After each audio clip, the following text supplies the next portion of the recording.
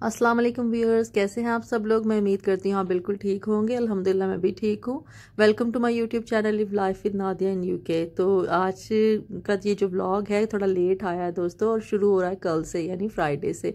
तो दिन बहुत अच्छा था, धूप निकली हुई थी तो वैसे ही बाहर निकलने को, कार में ही ज़रा चक्कर मारने को दिल किया तो बैठ गई मैं साथ, क्योंकि पेट्रोल लेने जाना था।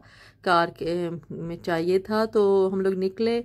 और देखिए कितना खूबसूरत दिन है व्यूअर्स और जितनी धूप होती है सर्दियों में यहाँ, उतनी ही सर्दी बहुत ज़्यादा होती है।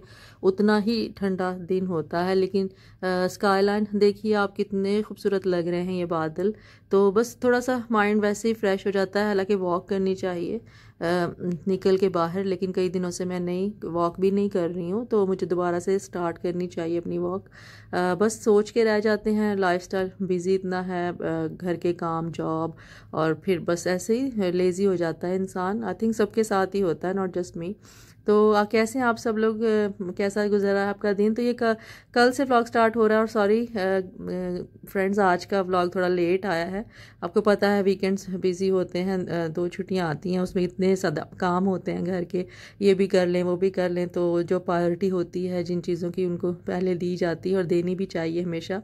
तो ये देखिए बस हम जा रहे हैं पेट्रोल लेने के लिए। तो आजकल तो ग्रॉसरी के अलावा और कहीं चक्कर लगता भी नहीं, वो भी ग्रॉसरी जो लोग रूटीन से जाके करते हैं और वही लोग जाते हैं। तो हम लोग तो कोशिश करते हैं ऑनलाइन ही करके फ़ारग हों। इतनी आदत हो गई है पिछले साल से ऑनलाइन शॉपिंग की ग्रोसरी इवन ग्रोसरी की और काफ़ी ठीक रहती है। तो ये हम पहुँच गए हैं बस अब पेट्रोल स्टेशन तो ये मैं कह रही थी व्यूअर्स के अगर ग्रॉसरी ना हो तो फिर तो बिल्कुल भी किसी चीज़ की ख़ास ज़रूरत नहीं है एज सच आपको बाहर निकलने की।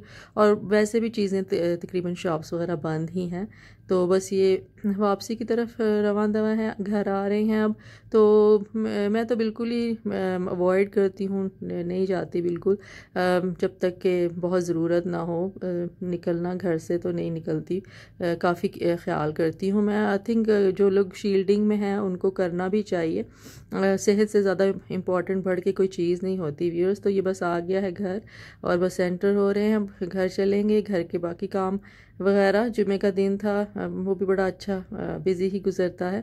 और बस अच्छा दिन गया और ये पता नहीं था कि कल को क्या होने वाला तो देखिए, ये सैटरडे का दिन आज का और समा ही बदल गया। रात को स्नोफॉल हुई थी। एक्चुअली रात के तकरीबन आठ बजे के बाद स्टार्ट हुई और काफ़ी नॉइज़ आए। शोर शराबा बाहर से तो नेबर्स के बच्चे वगैरह निकल के काफ़ी इंजॉय कर रहे थे फैमिलीज़ लाइक बच्चे खेल रहे थे स्नो में। ऑब्वियसली जब बच्चे छोटे होते हैं तो उन, उनका दिल करता है तो पेरेंट्स भी एफर्ट करते हैं फिर उनके साथ बाहर कोट वगैरह पहन के तो खेलते हैं स्नो में मज़ा आता है। तो ये ऊपर भी काफ़ी थोड़ी थोड़ी नज़र आ रही है लेकिन आसमान बिल्कुल साफ़ है ठंड बहुत ज़्यादा थी तो बाहर जाने की तो मैंने जाके कोई कोशिश नहीं की बनाने की पिक्चर या मूवी तो इतनी ज़्यादा थी भी नहीं मेल्ट हो रही थी अब तो बिल्कुल ही। उसके बाद मेरे रूटीन के काम शुरू हो जाएँगे। दोस्तों, बस आपको पता है डीप क्लीनिंग का टाइम वीकेंड पे ही मिलता है। पहले तो थोड़ी सी कैंडल्स जलाएँगे ताकि अच्छी सी फ्रेगनेंस हो जाए घर में। ज़रूरत पड़ती है इनकी इवन दो विंडोज़ वगैरह खुली रहती हैं खोलते हैं हम विंटर में, इसके बावजूद भी घर के अंदर अच्छी सी एक फ्रेगनेंस स्मेल हो तो उसके लिए मुझे तो बहुत शौक है डिफरेंट टाइप्स की मैंने कैंडल्स रखी हुई हैं तो मैं कभी कभी यूज़ करती हूँ इनको। तो ये तो बहुत ही वेलवेट रोज़ की बहुत ही प्यारी लगती है मुझे इसकी फ्रेगनेंस फ्रेंड्स तो बस थोड़ा सा बाहर नज़र मारी, निकल के कि क्या समा है, इतनी ख़ास कोई स्नो नहीं है, लेकिन ऑब्वियसली जिन्होंने चलना है फुटपाथ पे, उनके लिए थोड़ा स्लिपरी शायद हो सकता है, हो, होगा डेफिनेटली मैं तो नहीं निकली बाहर। बस थोड़ा सा देख के फिर अपने दिन का आगाज़ करती हूँ, यानी कि क्लीनिंग का। तो आज मैं अपने बाथरूम को अच्छा सा डीप क्लीन करूँगी, लेकिन मैं आपको दिखाऊँगी नहीं पूरा थोड़ा सा सिर्फ़ एक एक सेक्शन बाथरूम का मैं आपको थोड़ा सा दिखाऊँगी कि कैसे मैंने उसकी डस्टिंग वगैरह की। ऑब्वियसली क्लीनिंग की वीडियोस तो आप लोग बड़े यूज़ इतना यहाँ पे क्लटर जमा हो, हुआ हुआ है, हो जाता है इवेंचुअली क्योंकि आप चीज़ें रखते हैं और फिर उठाते हैं। तो उसके बाद बस, मैंने आज डीप क्लीन का सोचा हुआ था कि मैं अच्छी तरह से डीप क्लीन करूँगी अपना वॉशरूम तो वैसे तो धुलता है वीक में दो दफ़ा लेकिन ये अच्छी तरह वाली क्लीनिंग तो फ्यू वीक्स बाद ही होती है तो ये दो तीन हफ़्ते के बाद मैं कर रही हूँ। तो काफ़ी डस्ट नज़र आ भी रही होगी आपको तो मैं यहाँ से बस सारे आइटम्स उठा लूँगी। तो यहाँ पे वही चीज़ें रखते हैं कि जिनकी ज़रूरत पड़ सकती है या पड़ती है आते जाते चलते फिरते यूज़ करने की लेकिन इसमें से भी आ, मैं डी क्लटर करूँगी आधी चीज़ें अब इस्तेमाल में नहीं हैं तो उनको उठा दूँगी। तो बस दोस्तों ऐसे ही चलती है क्योंकि काम सारे खुद ही मैनेज करने होते हैं जॉब के साथ साथ आपको घर के भी रूटीन के तो वैक्यूम वगैरह ये वो डस्टिंग यहाँ इतनी ज़रूरत पड़ती नहीं है लेकिन फिर भी यहाँ काफ़ी डस्ट होती है। तो मैं आपको दिखाऊँगी कि कितनी डस्ट यहाँ से ये, निकली है। यहाँ से तो चीज़ों पे भी पड़ जाती है डस्ट और शेल्फ्स वगैरह पे भी। तो स्पार्कलिंग क्लीन क्लीन हर हर बंदे को ही अच्छा लगता है। मैं भी कोशिश करती हूँ कि डस्ट ना जमा हो बस जैसे ही लगे कि कोई कॉर्नर घर का हुआ हुआ है तो उसे फ़ौर साफ़ कर दिया जाए। तो बस अभी इसको बाकी चीज़ों को वॉश करूँगी, जो उसके ऊपर पड़ी हुई थी, इन सबको अच्छी तरह से वॉश ही कर लेती हूँ मैं, क्योंकि धोने से ठीक है, वो साफ़ भी हो जाती हैं और ये अभी सिंक भी काफ़ी गंदा है। सब सफ़ाई अच्छी तरह से बाद में हो जाएगी। अभी तो मैंने स्टार्ट किया है और आपके साथ पूरा नहीं शेयर कर रही, सिर्फ़ थोड़ा सा बस अपना क्लीनिंग रूटीन शेयर कर रही हूँ।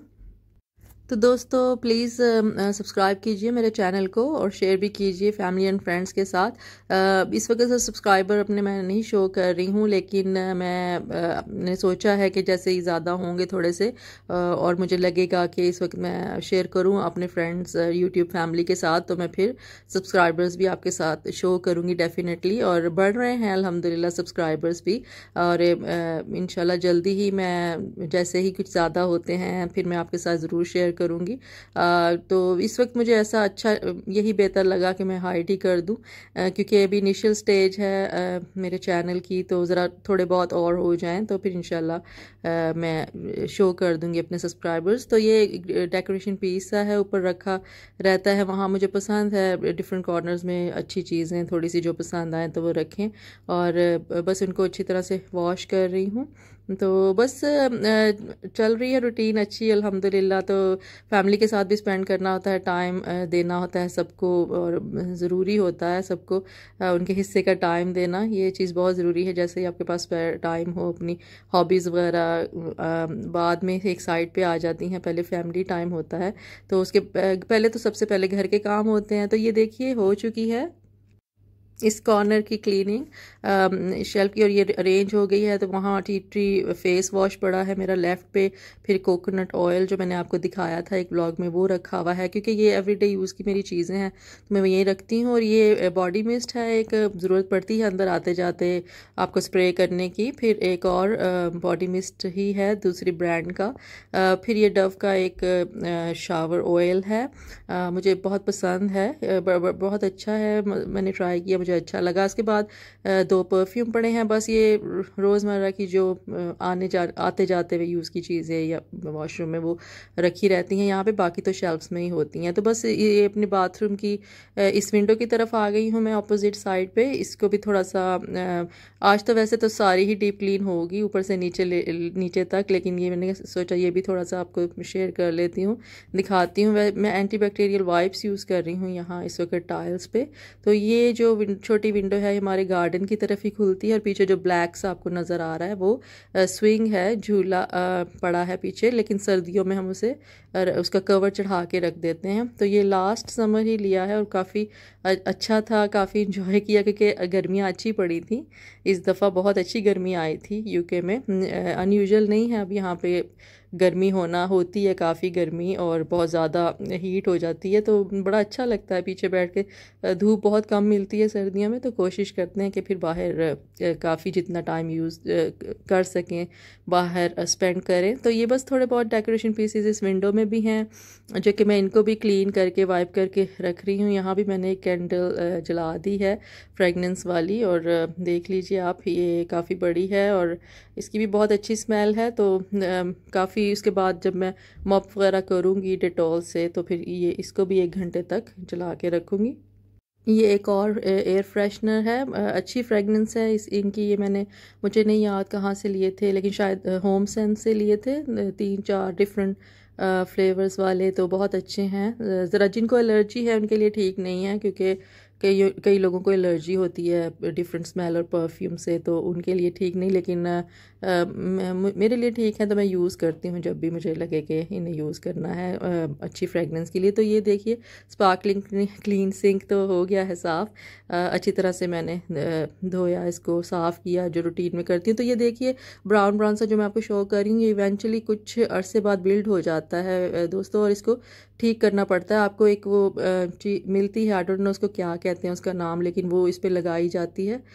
इसको साफ़ करके फिर बिल्कुल नीट एंड क्लीन हो जाता है तो वो करने की ज़रूरत है। तो ये देखिए, बस अब बाथ की तरफ़ आ गई हूँ। इसको भी अच्छी तरह से क्लीन किया है। स्प्रे लगा के अच्छी तरह से इसको साफ़ किया है। तो बस इसी पे आई थिंक ख़त्म हो जाएगा जल्दी ही ये व्लॉग अब एंडिंग इसी पे हो रही है। तो अब बताइएगा कैसा लगा आपको आज का मेरा ये व्लॉग इंशाल्लाह फिर जल्दी मिलेंगे एक नए व्लॉग में।